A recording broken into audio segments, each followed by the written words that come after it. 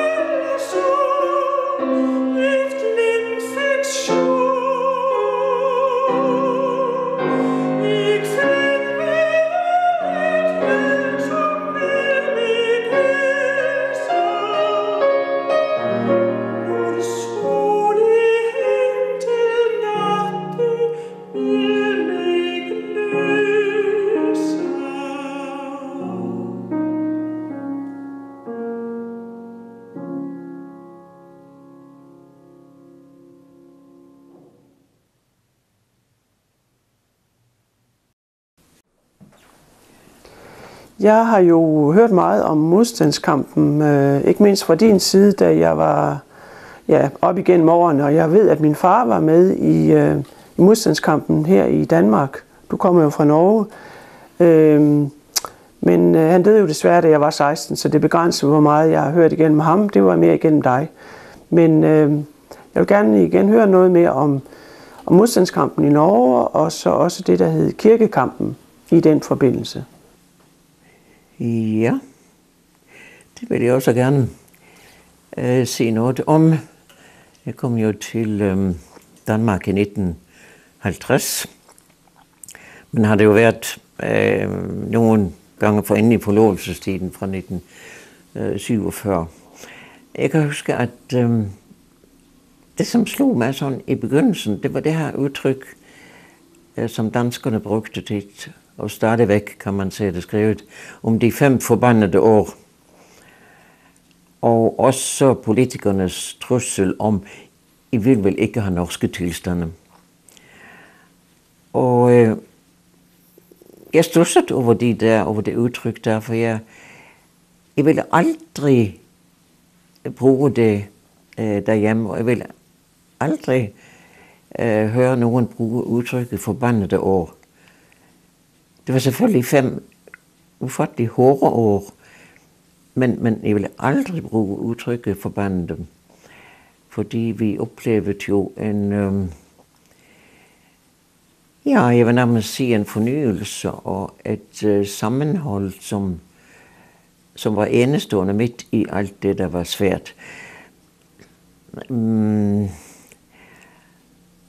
og, og for, eller, øh, trusselen om, om norske tilstande, jamen det er da også rigtigt, de var, de var forfærdelige, jeg vidste var det det, men igen tilbage til det, øh, som overtrumfede alt det der. Det, øh, det ville jeg ikke bytte for noget. Men øh, lad os nu gå lidt øh, tilbage i tiden til øh, 19, ja, 1939, da stod krigen brød ud. Der var jeg 13 år og fyldte 14 kort efter, der i september 1939. Og øh, jeg kan huske det halve år. Det var frygteligt. Øh, jeg tog ikke sige til nogen, men jeg var hundeangst indvendig. Jeg var simpelthen så øh, øh, hyle bange for, for det hele, men tog ikke sige til nogen, for det var, det var flot. Så jeg drømte ikke om at sige det til nogen.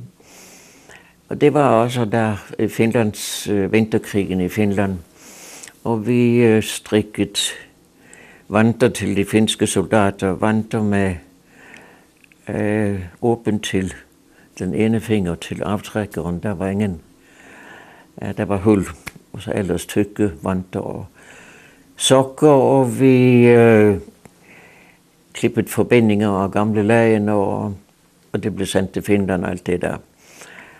Men altså, det var for mig øh, faktisk den, den værste tid, og jeg gik jo helt alene med det, og ganske grøn som jeg var. Så kom 9. april, og jeg husker det jo som om det skulle være i går. Det er jo noget, der sidder fast i kroppen på en. Jeg boede i Bergen, hvor min far var præst i, i en af øh, altså, de store kirker, der er i Korskirken, en 800 år gammel kirke, som lå midt i, i centrum. Og øh, øh, så var det der klokken tre om natten, kan jeg huske. Og min søster, som var seks år ældre end mig, vi delte værelse. Vi var ellers øh, seks søsken, men vi var kun øh, to tilbage derhjemme. De andre, de var gift eller under uddannelse længere væk. Og øh, så havde jeg hørt sådan kanontorden fra klokken tre om natten, langt i det fjerne, og regnet med, at det var et eller andet øh, søslag mellem britiske øh, krigsskibe og tyskere derude. Og jeg lå bare der og var, var bange. Men så pludselig så lød der bare et smald. Og det var fra antiluftskyts fra Skansen, som lå, hvad skal jeg sige, en halvt hundrede meter over os. De, som har været i Bergen, ved jo, hvordan øh, byen den er. Den ligger der inderst inde i Vågen, som det hedder. Øh, i, øh, inde i fjorden der.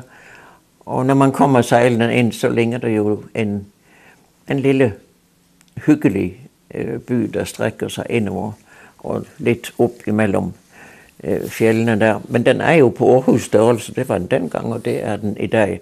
Men det er fordi, man kan ikke se den, fordi den, den kravler der ind mellem øh, fjellene. Men altså, der boede vi så øh, op i fjeldsiden, øh, Sogne, hvor min far var, var præst der, det, øh, det var nede fra centrum, og så øh, op imellem fjellene, så det var simpelthen bare, skal vi sige, en lang, bred bakke op i, igennem.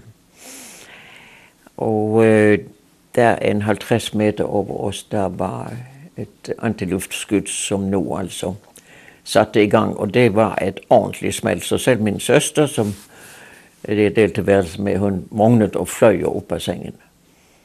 Og så skete det øh, højst besynderlige, som enhver psykolog nok ville øh, frydesåber at høre. Øh, da, jeg, da jeg hørte det her smald, så fløj det bare ud af munden på mig. Åh, oh, jeg er så redd. Altså, jeg er så bange. Og da jeg havde sagt det, så var det simpelthen, det føltes som om øh, at brække en, en, en, en, en, en, en frø op fra maven. Ud fløj det, og væk var hele min angst. Og jeg kan godt sige, at øhm, den angst, den følte jeg ikke resten af krigen, da det virkelig stod på. Altså selvfølgelig man kunne blive øh, spændt og anspændt og, og alt det der, men ikke den der øh, virkelige angst, øh, som også lammer og, og ødelægger. Kendte jeg overhovedet ikke resten af krigen. Nå, men hvad var det her? Vi fløj jo op af sengen, ikke sandt? Og klokken var syv der om morgenen. Og ind i øh, stuen, øh, vi boede i en sådan en gammel... Øh, når det var ikke præstebolig. Der har det været... Øh, de, som har været i, i Bergen, de kender nok Rasmus Meyers samling og en gammel, en fantastisk øh, malerisamling. Også med mange Kai Munk, nej, øh, øh, Edvard Munch-billeder. Og, øh, det var sådan en, en rigmand, som øh, havde ejet det her hus, og da han døde, så testamenterede han det til kommunen, som så gør det til præstebolig i Korskirken. Og det var en øh, stor, et gammelt træhus med, med øh, have foran. En, en sådan ret lang have, ikke så bredt, for det var hele tiden det her i det her terrassebyg, sådan at vi kunne spytte ned i hovedet på naboen, ikke sandt? Og, øh, øh, der øh, havde vi jo en fantastisk udsigt ud over byen. Og så kom vi der ind og ser ud af vinduerne og fuldstændig forvirret. For vi kunne se soldater gå nede på gaden, nede, nede i byen. Man kunne ikke se, hvad det var. Det, det, det lignede ikke norske soldater. Og så kom der flyen, en, en, så kom der en øhm, flyvemaskine forbi, så næsten i øjenhøjde.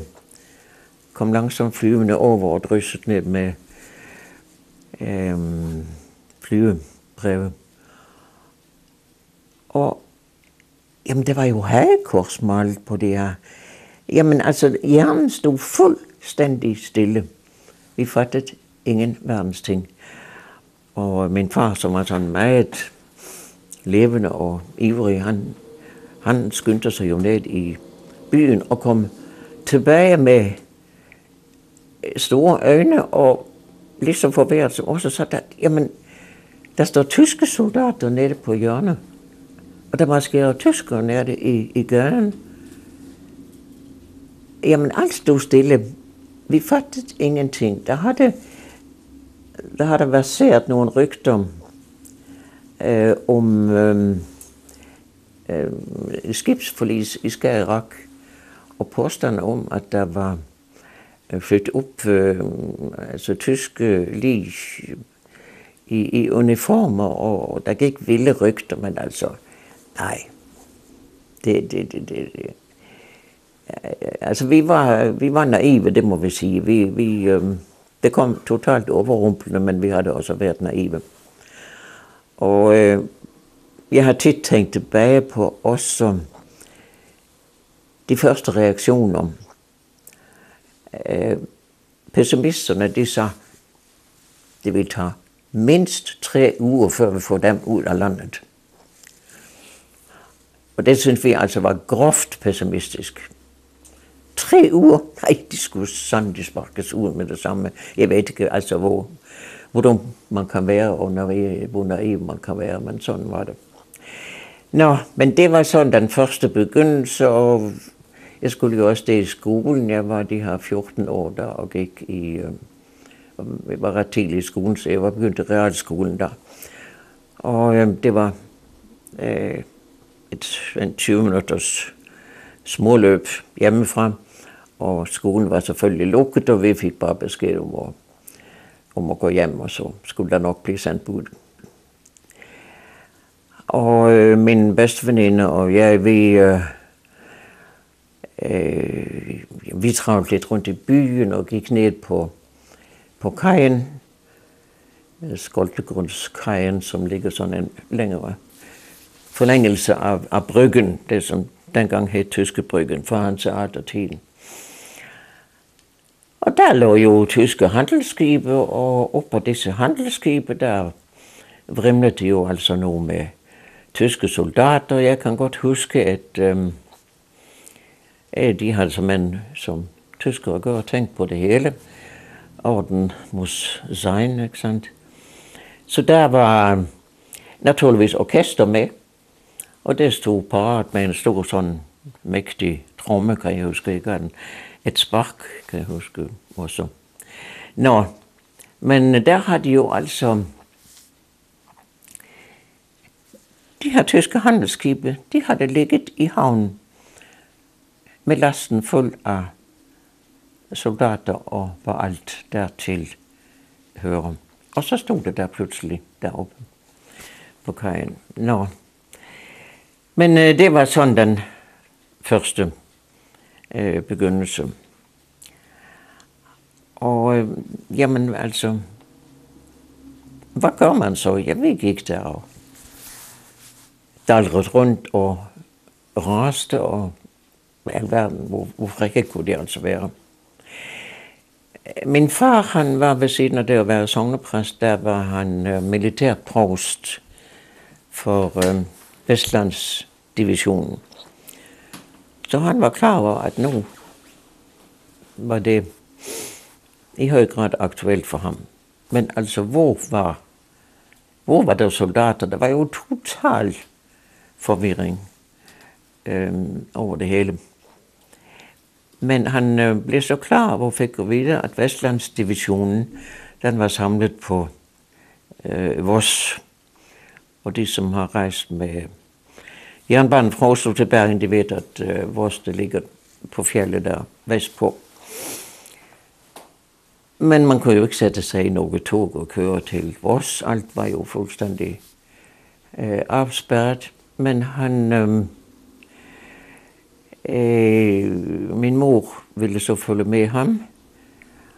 Hun kunne vel altid gøre nytte på for sig på en eller anden måde, men hun...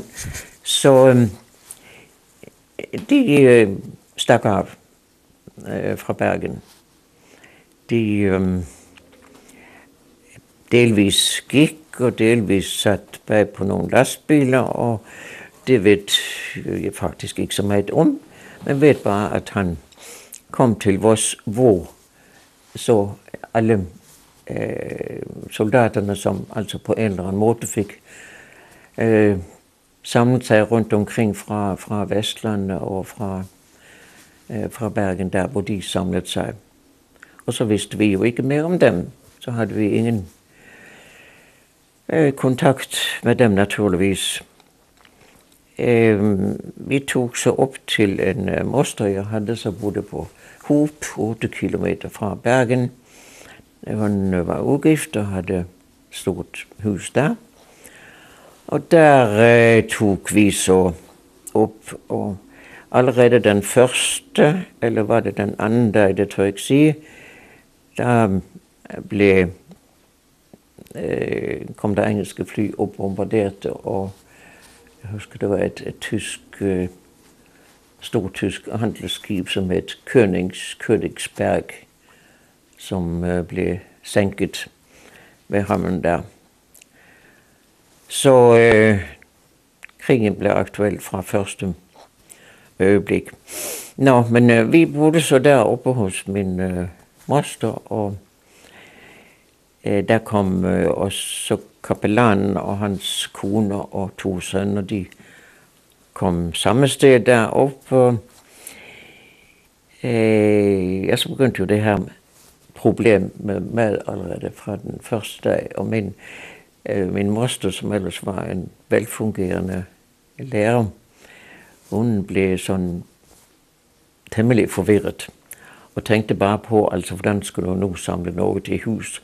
Så jeg husker, hun, øh, jeg tror hun øh, hamstrede toiletruller i stor stil og, og mælk øh, lige så, og den øh, havde jo en vis begrænset levetid, så, øh, så den stod på havregrød og, og mælk. Nå, men øh, for at komme lidt øh, videre, så, så vidste ingen nogen ting om nogen ting. Og rygterne de fløj, og jeg kan huske, man fik også høre, at øh, øh, var det de engelske soldater, de kom marcherende, det, det fik vi så høre, de skulle komme marcherende. Og jeg havde så en, en faste, der var forstanderinde på et øh, vandføre hjem, altså invalide hjem, øh, lidt nærmere byen, og øh, min moster, hun ringte til hende og sagde, at hun skulle nok give besked, når hun øh, hørte, at de her tropper marcheret forbi hendes hus. Altså det var fuldstændig tåbeligt og, og naivt, det hele. Øh, jeg kan ikke rigtig huske, hvor mange dage det gik, men vi fik bare høre, at vores, hvor mine forældre var, den blev øh, bombet øh, sønder og sammen af tyskerne. Og øh, ja, øh, den her ingenting at vide, det er næsten værre end at vide noget. Så kom der et øh, præstepar og ringte på efter nogle dage og kunne komme med hilsen om, at mine forældre, de levede. Nå, jamen så var det liksom, så kunne man klare hvad som helst. Øh, jeg tror, det gik en tre uger, inden de kom hjem, hvor de norske tropper så havde måttet overgive sig. De havde jo øh, ligget der i skærven, som det hed, det vil sige en øh, øh, nedgangen fra Hardangerfjorden og op øh, imod øh, Voss. Der havde de simpelthen ligget øh, og konstante tyskerne, som kom op fra Hardangerfjorden den vej. Øh, det norske forsvar, det var jo mildest elendigt og gammelt, men det var utroligt, hvor det, hvor det kunne udrette. Øh, det havde altid været jeg ved ikke hvor lang tid, men der var sådan nogle øh, skytterlag, som det hed, rundt i de forskellige bygder. Så det var simpelthen en, en, en sport med lærerskabsskydning, som ren sport. Og det kom dem nu til gode, så de lå der øverst oppe og øh, tysk tyskerne som prøvede at komme op den vej. Men så kom jo det, som gjorde det hele håbløst i Norge, det var det tyske luftvåben som så altså bombet vores, hvor jeg vidste, mine forældre var, hvor de bombede sønder og sammen. det eneste sted, bogstaveligt talt, det eneste hus, der blev stående der, det var kirken og jernbanestationen. Og hvad vi jo ikke vidste, det var, at min mor hun øh, befandt sig på jernbanestationen dengang, hvor hun var ved at smøre øh, madpakker til soldaterne ude i felten. Og øh, så begyndte det her bombardement. Og alle de øh, styrtede jo ud, og af en eller anden misforståelse, hvordan det var, så låste de samtlige døre, og var ikke klar over, at min mor var derinde. Så hun var den eneste derinde på stationen, mens bomberne havlede øh, om ørerne på hende, og hun havde jo.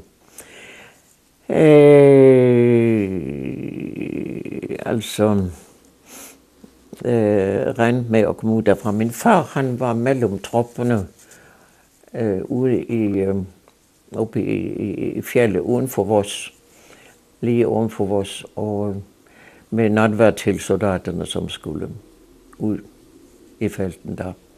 Og han kunne fra højden, kunne han bare se, hvordan øh, vores blev tæppelagt af, af bomber. Og han, han vidste ingenting om min mor og kunne bare håbe på og bede om, om det bedste. Godt han ikke dengang vidste, at hun satte alene på stationen, som var et af målene netop for bomberne. Jeg kan huske, hun fortalte senere, at hun gik bare frem og tilbage, frem og tilbage, og det gjorde ligefrem ondt i hjertet, af angst. Men så, så opdagede hun, en, en, en, øh, der stod en kurv i et hjørne med nogle små kattekillinger, og med kattenes, øh, killingernes mor, selvfølgelig. Og, hun, og katten, den øh, gik bare rundt om jaget og og om jaget og, og havde det elendigt. Og så til sidst så gik den han og lagde sig op i kurven til de her små killinger, og der lagde den så roligt ned. Og så kan jeg huske, hun sagde, så tænkte jeg, jamen øh, kæreste venner, jeg har jo en far i himlen, som passer på mig. Så jeg kan jo være ganske rolig. Og så faldt der ro over hende. Øhm, da så bombardementet var slut, og hele bygden stod i i flammer og lå i ruiner, så, så kom der en gammel sergeant og lukkede op for hende og var fuldstændig paf, da han så, at der var et menneske derinde. Og da han kom udenfor, der var der et kæmpe krater af en ueksploderet bombe, som lå 10 meter eller mindre fra øh, selve stationen. Nå, men øh, jeg husker bare en nat, da klokken var halv tolv, og vi var kommet i seng, og Øh, ja, vi har så ikke sovet. Så hørte jeg bare stemmer nedenunder. Og, øh, og så kunne jeg høre, at det var min muft og fars stemmer. Og der, der, der kan jeg bare huske, at jeg havde det sådan, at jeg tænkte, åh, oh, nu kan hvad som helst ske, når de bare er kommet hjem. Øh, og der var de kommet hjem på, han er sat på samme måde, som det kom ud. Sådan øh, mere og mindre tilfældig. Men der var, altså, var, havde tropperne trukket sig længere østover. Øh, jeg havde i øvrigt øh, en som senere blev gift med min søster. Han havde været med blandt tropperne der. Og, øhm, øh, og de var det i sne til op til året. Øh, jamen, jeg ved ikke, hvor mange kilometer altså for at støtte til øh, tropper videre der i, i krigen. Men det var sådan det første øh, indtryk af selve øh, krigen. Og krigen i Norge, altså regulær krig, den trak sig op igennem øst, øh, dalene i, i, i, i øst, og så, og så op i, til Norge. I mellemtiden, det som gjorde at, øh, at forløbet blev helt anderledes end i Danmark. Og stanse tyskerne ved den danske grænse, det var jo, kan man sige, ulade gørligt. Så øhm, øh, der var jo, kan vi sige, vi havde den naturen med os i Norge på en helt anden måde. Øh, det, der gjorde, at krigen kom til at forløbe på en helt anden måde, det var jo det, at kongen og regeringen, de, øh, de kom jo væk. Øh, øh, også hele Stortinget, de slap ud af Oslo. Og den historie er jo fantastisk. Øh, det var jo øh, den 1. april ved 4 tiden om morgenen, så stod der jo øh, neutralitetsvagter øh, øh, der på det smalleste sund øh, inderst i Oslofjorden. Før den virer sig ud igen, og så ind øh, til Oslo. Der stod så en, en vagt og holdt udkig, og pludselig så ser han, så ser han bare noget vældigt, der kommer sejlende. Øhm, det var jo der ved firetiden, så det var jo mørkt endnu, men begyndte at, at løsne af dag tidligt forår. Og så ser han bare noget vældigt, der kommer der og rejser sig større og større, og jo nærmere det kommer. Og han styrter han til sin overordnede og siger, altså der kommer sejlende et krigsskib, eller hvad det nu var, ind i Oslofjorden. Det viste sig så at være det tyske slagskib Blücher. Der kom sejlende der. Og øhm, jamen, hvad skulle de gøre? Hvad skulle de gøre? De har der altså de her gamle kanoner øh, ved indløbet der. Men for det første måtte de jo altså ikke øh, skyde uden øh, tilladelse fra overkommandoen ind i Oslo. Men øh, den var der jo ikke tid til at vente på. Så, så manden, øh, officeren der, han tog simpelthen bare beslutningen, og så lægger han og skyde. Der er ikke andet at gøre. Men altså, øh, de her gamle kanoner mod et tysk slagskib, øh, det var jo nærmest en Storm P-vittighed. Men hvad sker der? Øh, soldaten lægger an og skyder og rammer i de her, ja nu skal jeg nok øh, holde med fra at komme med militære øh, kundskaber, for dem har jeg ikke mange. Men, øh, men rammer imellem, altså det, det, sådan et slagskib, det er i hvert fald altså af øh, altså pansret i, i meter tykke lag. Men han rammer altså midt imellem. Øhm, han har sat søm, sømrum, det har jeg bedre forstand på. Øhm, men lige ind i ammunitionslager, og den springer i luften. Det, det, det var altså det, det, det, det, det var helt ufatteligt. Og han står bare og stirrer og ser en, en vældig ildsøjle, altså, og så springer det her i luften og stanser hele det foretegnet. Og øhm, dengang der var der jo endnu kolde vintre, så, øh, så der var jo altså is øh, også på, altså med isstykker og sådan, og i Oslofjorden. Og selvfølgelig har vi aldrig tal på, hvor mange der omkom der, men der omkom jo i hvert fald mange hundrede tyske soldater. Nogen øh, klarte at svømme i land, for det er jo ikke så forfærdeligt. Det er jo ikke langt ind til land på det stykke der. Så der var jo nogen øh, bønder der omkring, der fik sig en, øh, en lidt af en overraskelse, når der kommer øh, halvdruknede mennesker ind og øh, i tyske uniformer der. Men altså, det forhindret, øh, at, øh, at Oslo blev nået og taget bogstaveligt talt på sengen.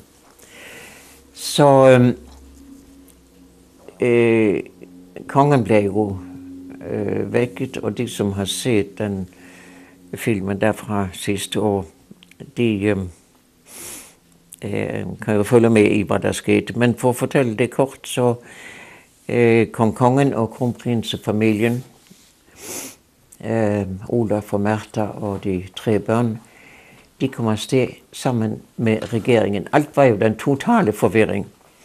Men de kom så ud af Oslo øh, med biler og med tog.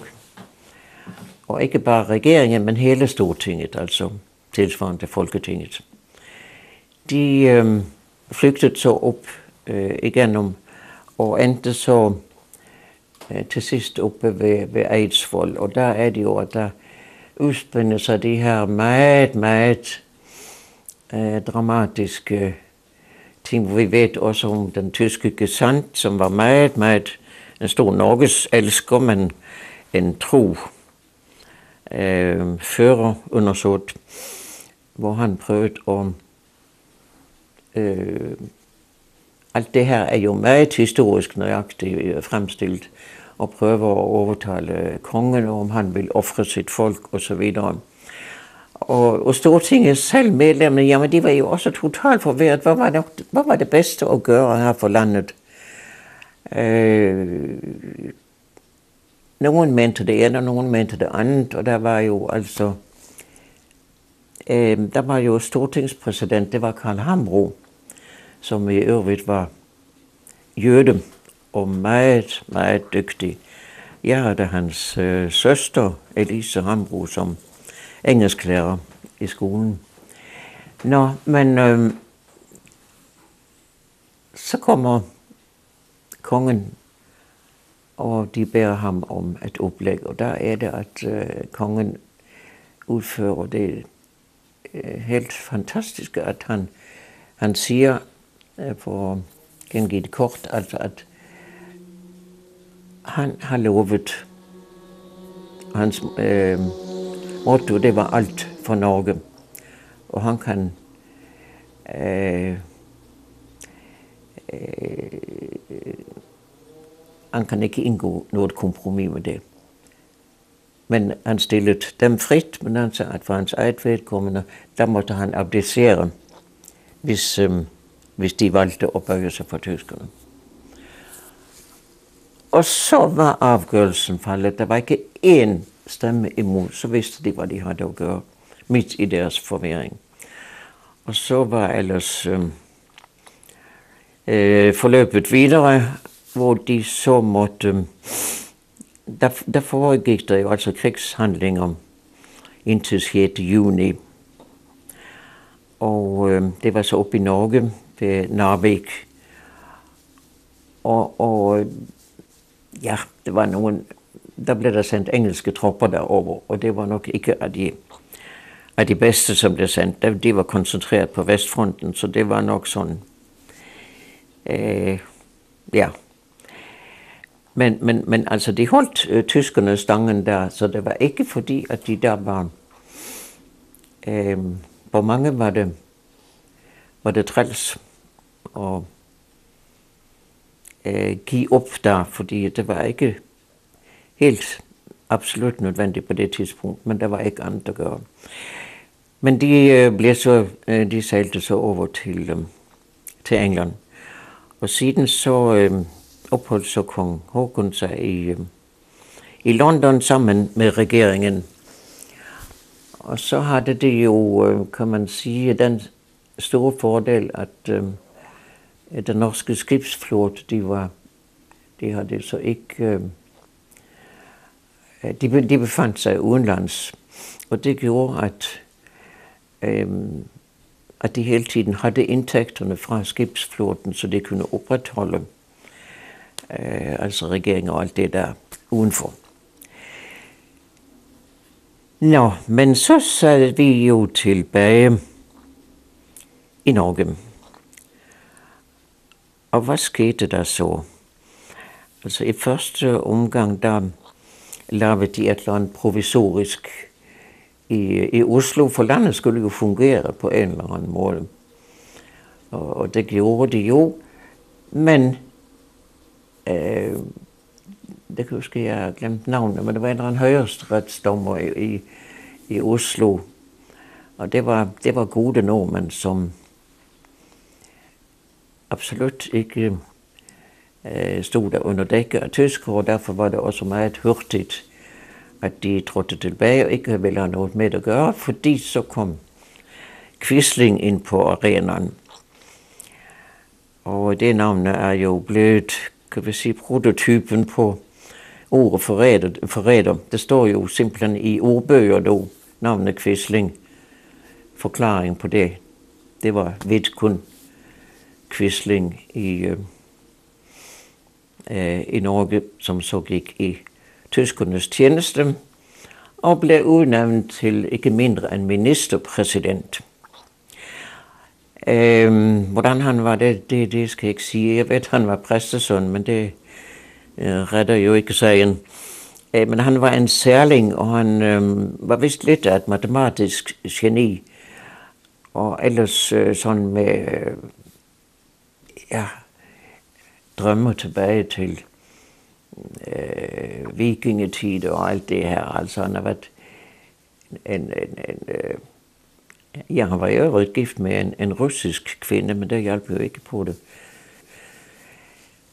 Nå, men øh, han kom så til at blive ministerpræsident, og så der jo, kan vi sige, ved hjælp af tyske bajonetter, og han skulle så udnævne for alle andre, de trådte tilbage. Øh, altså inden for administrationen og højere øh, poster og den slags. Og øh, øh, så skulle der jo sættes folk ind i stedet for. Og, øh, og kan vi sige ordentlige nordmænd, de sagde jo nej. Så det blev alt sammen øh, nazister, der så tager ja til, til jobbet. Øh, så der var jo mange, der havde flere. Jeg kan huske øh, en øh, præst i Bergen. Øh, Svilmeier hedder han. Han var en af de her typer, som følte sig lidt miskendt. Han skrev øh, i øvrigt ikke så dårlige øh, digte og salmer, men han synes aldrig rigtigt, han var anerkendt. Og der var mange af de typer netop, som, øh, som så trådte frem. Han blev ordfører, det vil sige borgmester, og han blev biskop, og han blev øh, var det trafik, et eller andet. Han havde fire store embeder, og hans kone blev rektor på den skole, jeg gik på, i stedet for Elise Hambro. Så de havde fire topstillinger til sammen. Og sådan var det mange steder, altså at de her, de fik en 3-4, for der var ingen, der ville tage imod de her stillinger under det regime der. Øh, så det var jo altså nærmest øh, altså, øh, en komedie på mange måder. Men altså tingene skulle fungere, og, og, og på en eller anden mystisk måde, så, så gjorde de det også. Men altså kun ved hjælp af nazi-emblemet, og det var det her solkors, for det var jo alt det der, altså gammel hedenskab, sådan isprængt lidt kristelighed, og det var frygtelig lapskås øh, på den måde der. Men øhm,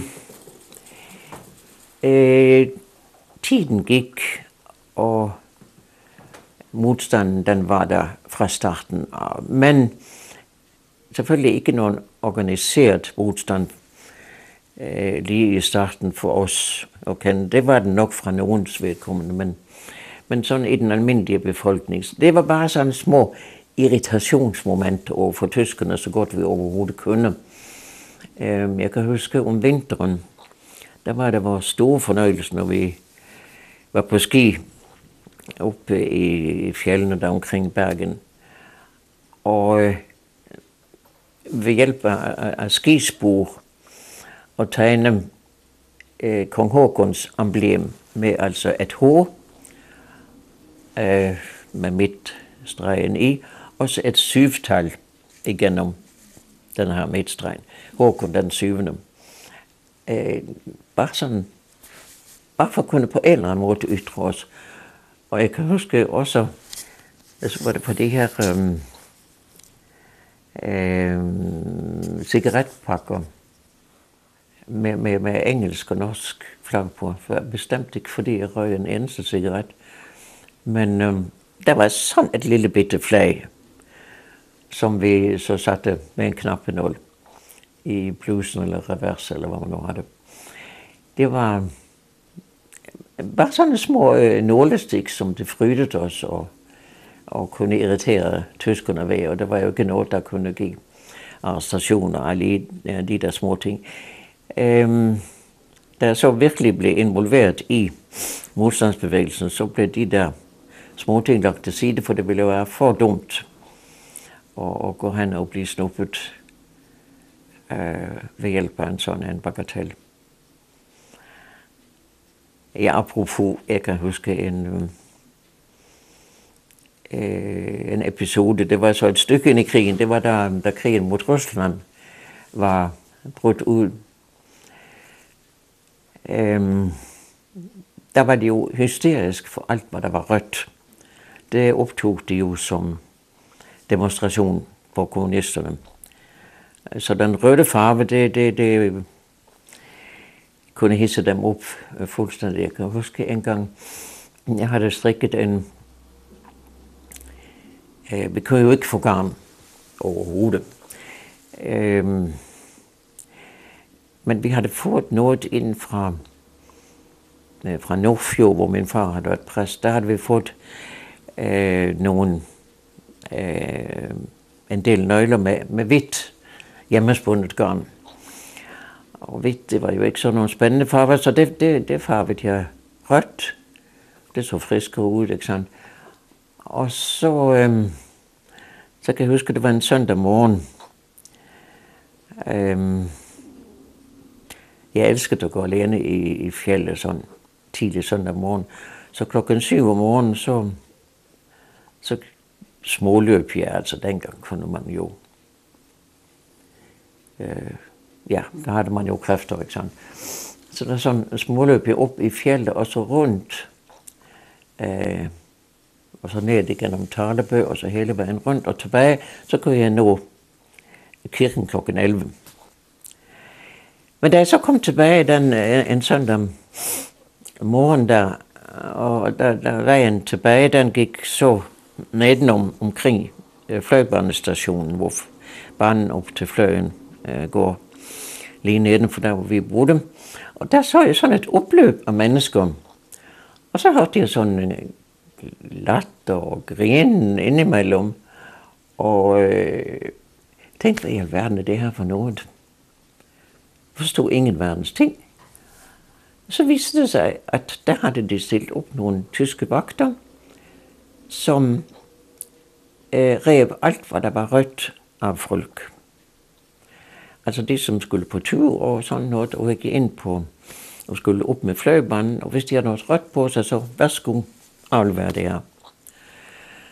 Og øh, folk kom så grinende ud, og de lavede simpelthen stod bare der og gjorde det her til virkelig sjov. Og var det noget, tyskerne ikke kunne lide, så var det at blive grint af. Men man kan jo ikke arrestere folk for at grine, det kan man trods alt ikke, selvom man er nazist. Men altså, så kom folk ind, og så blev der, hvis de havde en, en, en øh, trøje med en rød øh, trøje på, så ind, og så arm med trøjen, og så måtte de komme ud igen med øh, tilknappet et eller andet, altså. Øh, jamen, det var den rene farse. Og jeg havde altså øh, strikket en øh, rød tophue af det her garn, jeg havde. Så øh, jeg fik høre, tag om den her hue, så jeg måtte af med huen.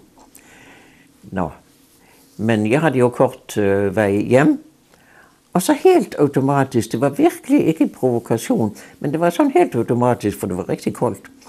Så, øh, så, så, så var jeg gået sådan en 10 meter op gennem bakken, så, så trak jeg bare huden på mig igen. Og så hørte jeg bare et brøl bag ved mig. Og så kom der en, øh, en, en, tysk tyskerløben efter mig og rev huden af hunden. Og så skulle jeg vise mit pas, som jo altid skulle gå med dengang. Og så tog han både pas og huden, og det skulle jeg så hente på, øhm, øh, ikke selve Gestapo hovedbygningen, men der, hvor de havde deres administration.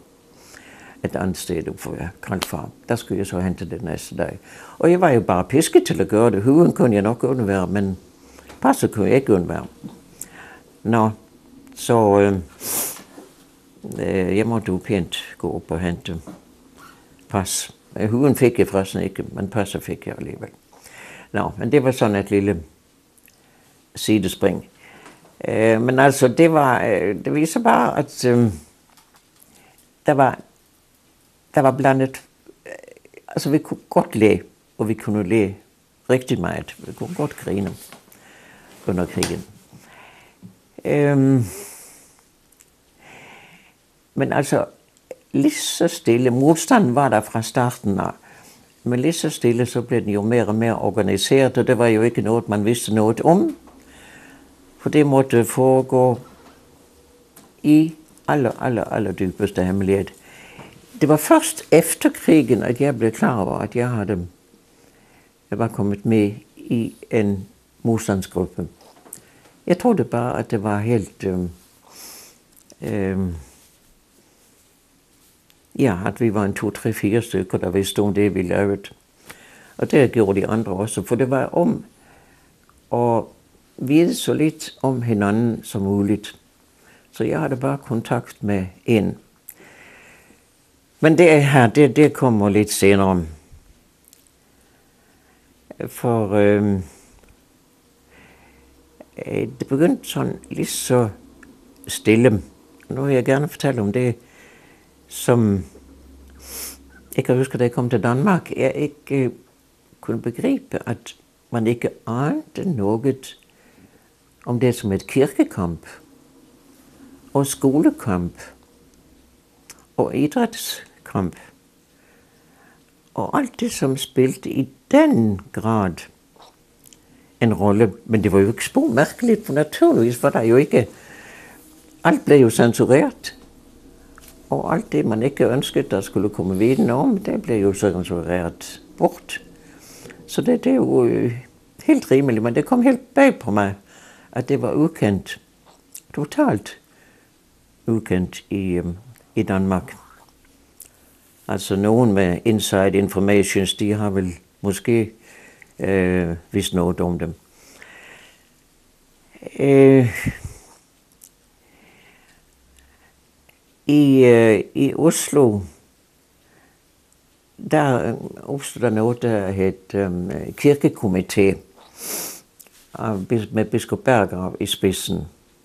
Han blev jo en fremtrædende person. Han spilte en, en uheldig rolle de første par dage efter 9. april. Det tog lang tid, før han fik renset øh, sit blad der, fordi han altså hvordan det egentlig har forholdt sig, det er jeg ikke 100% sikker på. Men det hed sig, at han tog ud i Nordmarker, hvor han havde, selv havde en lille hytte, øh, lige efter 9. april, og kaldte norske tropper hjem, for at ikke de skulle øh, udgyde deres blod forgæves, fordi han kunne jo se, at det var nytteløst. Øh, det har han, hvis det er sådan, der har foregået, så har han gjort det i allerbedste mening. Men det er blevet opfattet forkert, så der, der, der gik øh, et stykke tid, før han fik øh, renset sit navn helt, men så skal jeg love for, at han også fik det renset. Øh, han kom så til at stå i spidsen for den her kirkekomité. Og med en, jeg tror jeg kan sige det, en 4-5 øh, andre præster fra Oslo, Domprosten også. De sendte sådan med jævne mellemrum meldinger ud til hele øh, den øh, norske præstestand, hvordan det forløb sig, forholdt sig, og så kunne de øh, bringe det videre ud til menighederne. Så man hele tiden var informeret om, hvordan man skulle forholde sig, og hvad der nu var sket, og så videre. Fantastisk. Men så det var jo bare ikke så lige til at gøre. Øh, telefonen blev aflyttet. Så øh, der kunne ikke sendes nogen hemmelige budskaber den vej. Øh, telegrafen var jo også censureret, selvfølgelig. Og øh, øh, brevskrivning, det var jo det samme, der blev jo ikke, så, ikke alle breve blev censureret, det kunne de vel ikke nå. Men de øh, øh, censurerede også post, så den kunne man slet ikke regne med. Jamen, hvad gør man så? Øh, så sender man kurerer rundt. Der blev sendt øh, præster fra Oslo til Stavanger med jernbanen der, og der blev sendt med Bergensbanen over til Bergen. Så var der nogen der, øh, og, til, og til Trondheim selvfølgelig også. Og videre derfra, jamen der måtte så gå med bus eller med skib, eller hvad det nu var. Men det kom hele vejen rundt. Og det var jo altså temmelig tungvindt, men det fungerede prikfrit altså. Og så var det jo på hvert sted, og der var så, min far blev den centrale figur i, i Bergen der. Øhm, så, så, så fik, øhm, ja, hvordan, om det, nej, det var i hvert fald ikke ham der, øh, så et forstandsvis, men de kom i hvert fald til os store bunker med øh, papir, og så skulle de så sendes videre, eller, eller øh, sendes rundt i menigheden. Og det skulle naturligvis også foregå i dyb stillhed, at det blev bagt, øh, stoppet, øh, stukket ind igennem øh, brevsprækken. Og der var så min søster øh, Meisen og jeg, øh, som, som øh, gik rundt med de her i vores menighed og, og, og stak dem øh, indenfor. Øh, og det fungerede glimrende. Men så kom der en, en dag, øh, pludselig stod der to øh, øh, nazister, norske nazister, og skulle have husundersøgelse. Og der var der altså lige kommet, der lå der to så høje bunker, øh, kan jeg huske, i, i den ene stue, lå de ved siden af ovnen, og de skulle så øh, videre. Og øh, ja, jeg, har ikke, jeg har ingen forklaring på, anden forklaring på den, at, at Gud har lukket øjnene på det her. For det gik rundt og undersøgte i boghyldene, om vi havde øh, farlige ting stående der, og trak bøger frem, og øh, rundt alle vegne for at se, om de så noget. De så ikke de to bunker der. De så dem ganske enkelt ikke. Så øh, de måtte gå med uforrettet sag, og, og bunkerne blev leveret ud, som øh, det skulle. Øhm, det her øhm, foregik så indtil 1942. Og der var der så en del diskussion om, for der var jo rigeligt nok Og råbe op og protestere mod i kirken. Og der var diskussionen en del mellem øh, præsterne, jeg ved ikke, hvordan det var inde i den her kirkekomité, men i hvert fald, det var det om, øh, hvornår skulle man protestere? Øh, skulle det ikke være en eller anden teologisk grund til, at de gjorde det inden for kirken? Og så var det, at, at øh, Berggraf sa, kan jeg huske, at øh, øh, de kommer så bare til at fange de store fisk, mens alle små fiskene går i nettet.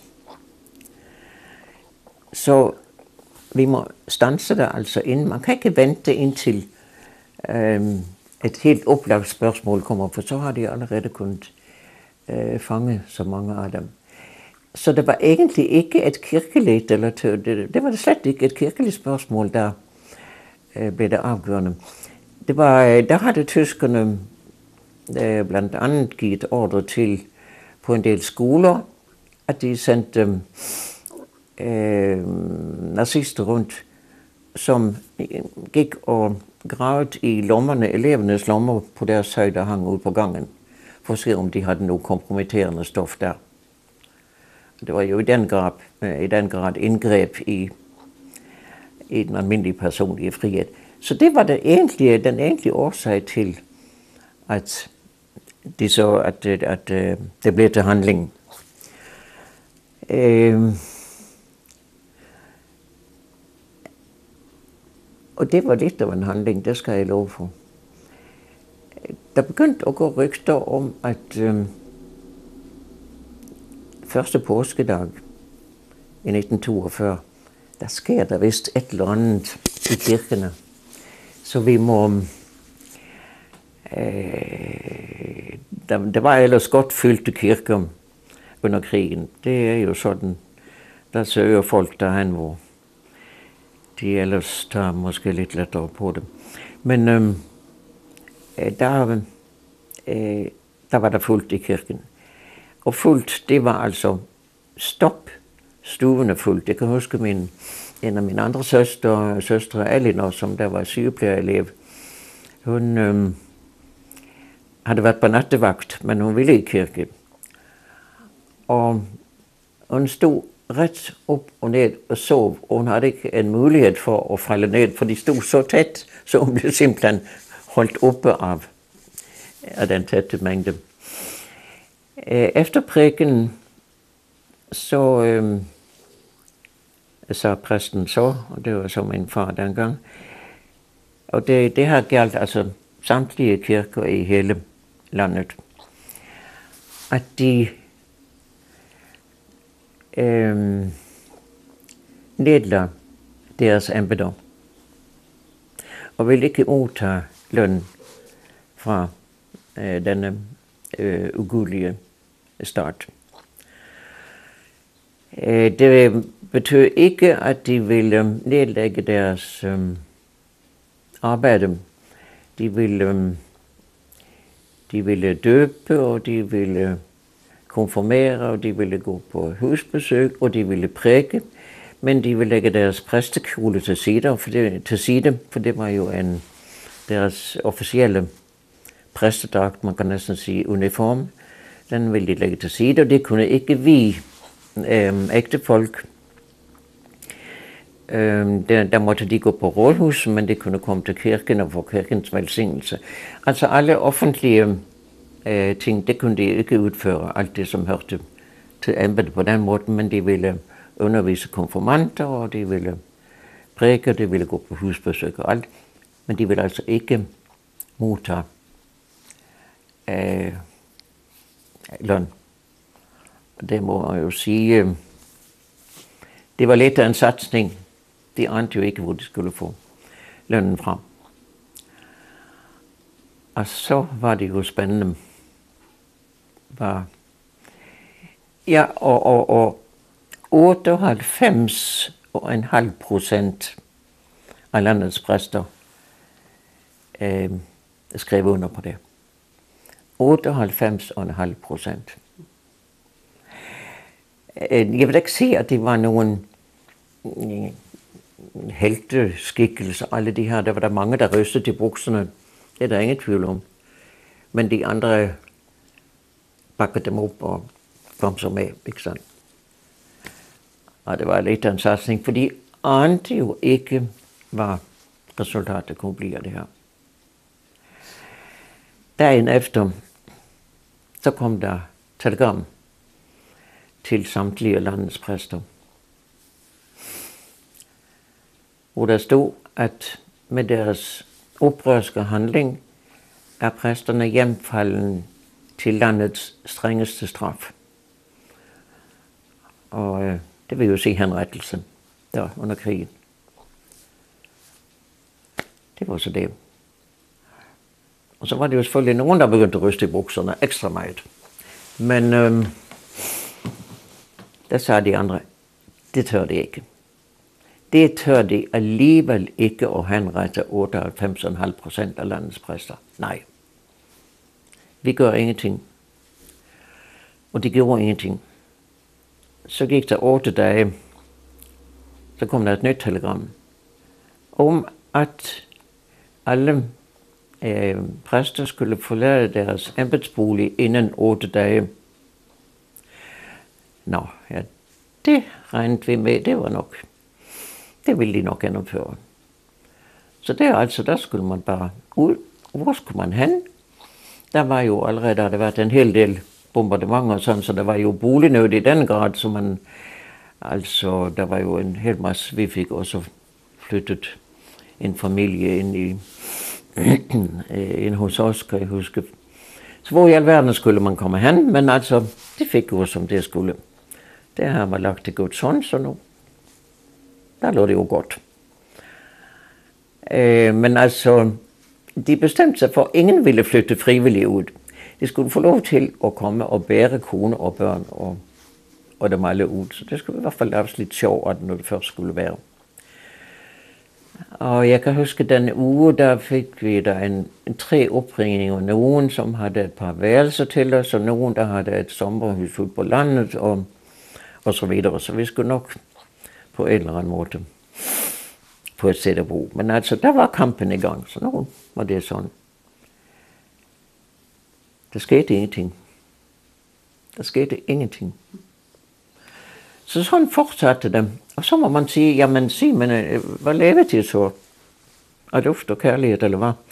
Nej, så blev der organiseret, og alt foregik i dybeste hemmelighed. Ingen vidste nogen verdens ting, men folk kom og stak penge til øh, præsten, så de kunne leve. Men så blev man jo hurtigt klar over, at det ville jo blive meget, meget forskelligt øh, kan vi sige, en populær præst, han ville jo lidt for mere end, end de andre. Det ville i hvert fald blive så ulige fordelt. Og så gjorde man simpelthen sådan, at øh, alle lagde det i samme pulje. Og efter krigen, så, så fik vi høre, at det var en eller anden øh, ansat på kommunen i Bergen, som øh, fik øh, hele... Øh, altså, jeg ved jo kun, hvad der skete i Bergen, ikke sant? men han fik øh, samtlige penge ind, og så blev det fordelt ligeligt til alle. Og det fungerede resten af krigen. Og øh, det tænkte vi ikke mere på.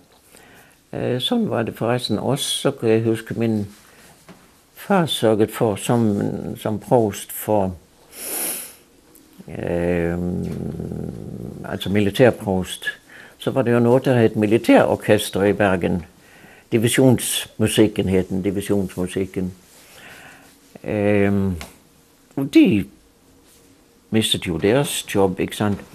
Og der sørgede han for på samme måde, at der blev altså samlet ind, så de alle sammen blev underholdt under hele krigen. Så øh, øh det er egentlig fantastisk at tænke på, hvordan de der ting blev organiseret uden at det bliver afsløret på nogen som helst måde.